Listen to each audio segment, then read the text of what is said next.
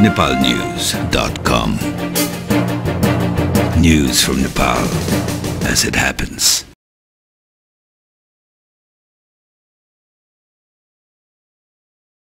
प्रधानमन्त्री डाक्टर बाबुराम भट्टराईका प्रमुख राजनीतिक सल्लाहकार देवेन्द्र पौडेलले फेरि पनि अध्यादेश रोके राष्ट्रपति डाक्टर रामवरण यादव विरुद्ध सडकबाट प्रतिवाद गर्ने चेतावनी दिएका छन्।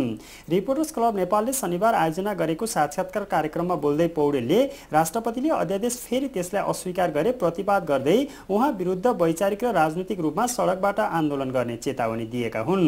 पौडेलले प्रधानमन्त्री नरहे राष्ट्रपति पनि रहन नसक्ने भन्दै राष्ट्रपतिलाई जबरजस्ती विवादमा ल्याएर प्रतिपक्षीहरूले राजनीतिक पद्धतिलाई नै ध्वस्त बनाउने योजना बनाएको आरोप समेत लगाए। राष्ट्रपतिलाई व्यक्तिगत रूपमा उहाँ जनताकै तर्फबाट आएर राष्ट्रपति पदमा पुग्नुभएको हुँदाखेरि म सम्मान गर्न चाहन्छु। र राष्ट्रपतिलाई अनावश्यक रूपमा संविधानले अन्तरिम संविधानले दिएका दायरा मूल्य र मान्यता र हामीले बनाएको संवैधानिक राष्ट्रपतिको समग्र क्षेत्राधिकारभन्दा बाहिर ल्याउने जबरजस्ती प्रयत्न गरिँदैछ।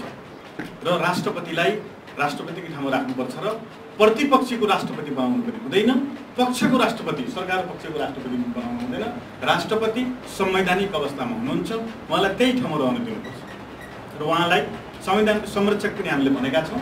त्यही रूपमा रहन दिएर उहाँले आफ्नो सीमाभित्र रहेर उहाँको भूमिका निर्वाह गर्नुको निम्ति उहाँलाई हामीले सबैले मौका दिनुपर्छ। कार्यक्रममा नेपाली काङ्ग्रेसका प्रवक्ता वीरेन्द्र प्रसाद बडुले फेरि पनि सरकार अध्यादेशबाट शासन सञ्चालन गर्ने रणनीतिका साथ अगाडि बढे राष्ट्रपतिले प्रधानमन्त्रीलाई हटाउनु पर्नेमा जोड दिए। संसद अनिश्चित हुँदा अध्यादेशको अभ्यास असंवैधानिक हुने दावी गर्दै बडुले अनिश्चिततामा अध्यादेशबाट शासन चलाउन खोजे निरङ्कुशता हुने चेतावनी समेत दिए। बाटोमा राष्ट्रिय सहमति निर्माण गर्ने बाटो छोडेर त्यतातिर विभिन्न यिनी के अरे गठबन्धन बनाएर विभिन्न मोर्चा बनाएर त्यो समय बिताउने। अनि अध्यादेशको बाटो लिने अध्यादेशको बाटो लिनुपर्ने अवस्थै हो नि अहिले किन त? भन्दा संसद छैन। संसद समाप्त गरेर अध्यादेशले चलाउनु भनेको यो तानासाही सोचाइ हो। यसरी जानै सक्दैन। यो लोकतन्त्रको कुनै पक्षमा हुन सक्दैन त्यस कारण आज लोकतन्त्र कतै खतरामा पर्ने हो कि अझ यो सत्ताको लम्ब्याउने प्रक्रियाले फेरि अधिनायकवादी शासनलाई स्थापित गर्ने हो कि धेरै लामो समयसम्म त्यसकारण यो प्र्याक्टिसले त्यतातिर लैजान्छ। सोही कार्यक्रममा एमाले युवा नेता योगेश भट्टराईले सरकार निरङ्कुशतातिर उन्मुख रहेकाले राष्ट्रपतिको संवैधानिक दायरा फराकिलो भएको भन्दै संवैधानिक क्रियाशीलताका लागि राष्ट्रपतिले थप कदम चाल्नुपर्नेमा जोड दिएका थिए। प्रधानमन्त्रीका राजनैतिक सल्लाहकारका साथै काङ्ग्रेस एमालेका नेताहरूको भनाइ सम्बन्धी समाचार यति नै